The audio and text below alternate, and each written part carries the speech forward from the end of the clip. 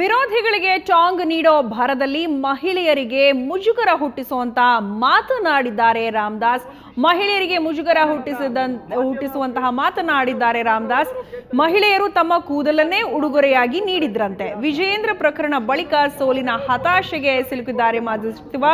Damage ಕಂಟ್ರೋಲ್ಗೆ ಹರ ಸಾಹಸವನ್ನ ನಡೆಸಿದ್ರು. ಇನ್ನೂ ಕೂಡ ಫಲ ಸಿಕ್ಕಿಲ್ಲ. ಬಿಜೆಪಿ ಅಭ್ಯರ್ಥಿಯ ಬಾಯಲ್ಲಿ ಇಂಥ ಮಾತು ಯಾಕೆ ಬಂತು ಅಂತಾನೆ ಅರ್ಥ ಆಗ್ತಿಲ್ಲ. ಅಸಭ್ಯ ಮಾತುಗಳ ವಿಡಿಯೋ ಇದೀಗ ವೈರಲ್ ಆಗಿದೆ. ಅದರ ಒಂದು ವಿಷಯವನ್ನ ನಾನು ಈಗ ತಾನೇ ನನ್ನ ಮಾಧ್ಯಮ ಪತ್ರಿಕೆಯವರು ಕನ್ನಡ ಪ್ರಭದವರು ಕೇಳ್ತಾ ಇದ್ರು. ಈ ಬಾರಿ ಈ ಚುನಾವಣೆ ಯಾತಕ್ಕೋಸ್ಕರ ನಿಂತಿದ್ದೀರಾ ಅಂತ. ಒಂದೊಂದು ಚುನಾವಣೆಗಳಲ್ಲಿ ಒಂದೊಂದು ವಿಷಯಗಳನ್ನ ಇಟ್ಕೊಂಡಿದ್ದೆ ನಾನು. ಅದೆಲ್ಲ ನಿಮಗೆ ಗೊತ್ತು. ಮಹಿಳಾ ಸಂಘದವರು ಕರೆದು ಸನ್ಮಾನ ಮಾಡಿದ್ರು. ಸನ್ಮಾನ ಮಾಡಿದಾಗ ಏನ್ ಮಾಡ್ತಾರೆ ಹೇಳಿ? ಶಾಲ ಹಾಕಿದ್ರು.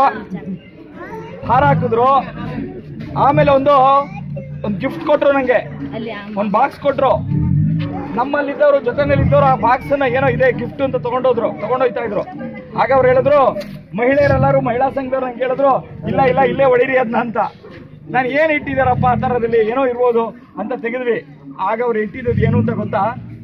ಗೊತ್ತಿಲ್ಲ ಅಲ್ಲ ಆ ಮಹಿಳಾ ಸಂಘದವರು ನನಗೆ ಆ ಕ್ಷಣದಲ್ಲಿ ತಪ್ಪೇನೋ ಅನ್ನಿಸ್ತು. ಆದ್ರೆ ಅವತ್ತು ನನ್ನ ಕಣ್ ತರಿಸಿದ್ರು ಅವತ್ತು ನನಗೆ ಇಟ್ಟಿದ್ದು ಯಾರ್ಯಾರು ಬೋರ್ವೆಲ್ ನೀರಿನಲ್ಲಿ ಸ್ನಾನ ಮಾಡಿ ಎಲ್ಲ ಕೂದಲು ಉದುರೋಗಿತ್ತಲ್ಲ ಅದನ್ನ ಡಬ್ಬಕ್ಕೆ ಹಾಕ್ಬಿಟ್ಟು ಕೊಟ್ಬಿಟ್ಟಿದ್ರು. ಸಾಧ್ಯ ಇಲ್ಲ ನಿಮ್ಮ ಪ್ರೀತಿಗೆ. ಅದರ ಒಂದು ವಿಷಯವನ್ನ ನಾನು ಈಗ ತಾನೇ ನನ್ನ ಮಾಧ್ಯಮ ಪತ್ರಿಕೆಯವರು ಕನ್ನಡ ಪ್ರಭಾದವರು ಕೇಳ್ತಾ ಇದ್ರು. ಈ ಬಾರಿ ಈ ಚುನಾವಣೆ ಯಾತಕ್ಕೋಸ್ಕರ ನಿಂತಿದ್ದೀರಾ ಅಂತ. ಒಂದೊಂದು ಚುನಾವಣೆಗಳಲ್ಲಿ ಒಂದೊಂದು ವಿಷಯಗಳನ್ನ ಇಟ್ಕೊಂಡಿದ್ದೆ ನಾನು. ಅದೆಲ್ಲ ನಿಮಗೆ ಗೊತ್ತು. ಮಹಿಳಾ ಸಂಘದವರು ಕರೆದು ಸನ್ಮಾನ ಮಾಡಿದ್ರು.